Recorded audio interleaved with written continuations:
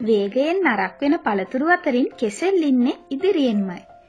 ගෙදරට ගේන කෙසෙල් ඇවරිය දවස් දෙක තුනකට වඩා තියාගන්න බෑ. ඉක්මනටම කළුලප හැදිලා අධික ලෙස ඉදිලා බෙරි වෙලා යනවා.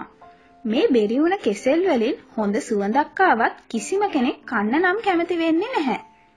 ඒත් ඔයා දන්නවද වැඩිපුර ගුණය පෝෂණය තියෙන්නේ ඉදුණු කෙසෙල් වලට වඩා වැඩිපුර ඉදුණු කෙසෙල් වල කියලා.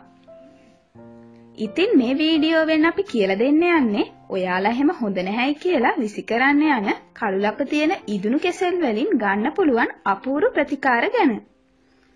මුලින්ම අපි බලමු අධික රස්නයෙන් වියලී ගිය සමට ඉදුණු කෙසෙල් ගෙඩියෙන් කරන්න පුළුවන් අපූරු සත්කාරයක් ගැන.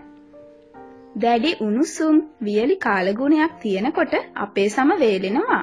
තැරෙන්න ගන්නවා. ඉතින් ඒ සඳහා කළ හැකි සාර්ථක ප්‍රතිකාරයක් මේ හොඳින් නිදුණු කෙසෙල් වලින් කරගන්න පුළුවන්. මුලින්ම කෙසෙල් එල්ලේ කළු පාට පැල්ලම් මත වුණු හොඳින් ඉදුණු කෙසෙල් ගෙඩියක් ගන්න. එය පල්පයක්සේ හදාගන්න. එයට මීපැණි තේ හැඳි දෙකක් එක් කරන්න. මේ ආලේපනය වියලි සමේ ගල්වන්න. මුහුණේ විතරක් නෙවෙයි. වියලී ගිය ඕනෑම තැනක ගල්වන්න. විනාඩි 30ක් තබා සීතල වතුරෙන් සෝදා හරින්න. මේන් පුදුමාකාර තෙතමනයක් දිදුලන බවක් සමට එක්වේවි. විශිෂ්ට ප්‍රතිඵල ලබා ගැනීම සඳහා එක දිගට දවස් 40ක් පමණ සිදු කරන්න. ඉදුණු කෙසෙල් වල vitamin A, vitamin B, vitamin E සහ පොටෑසියම් බහුල නිසා ඔබව පැහැපත් කර තබන්නට එය නිතරම සමත්. ඒ විතරක් නොවේ.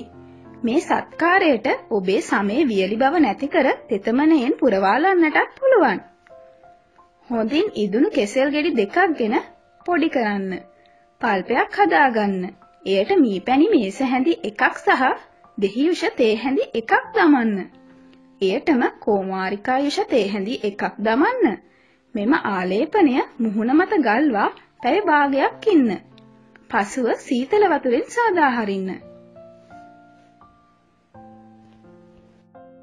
වීඩියෝ එක නරඹපු ඔයාලා මෙතන සබස්ක්‍රයිබ් බට්න එක කලික් කළ අපත් සමඟ එකතු වෙනවනම් ඒක තමයි අපේ සතුට.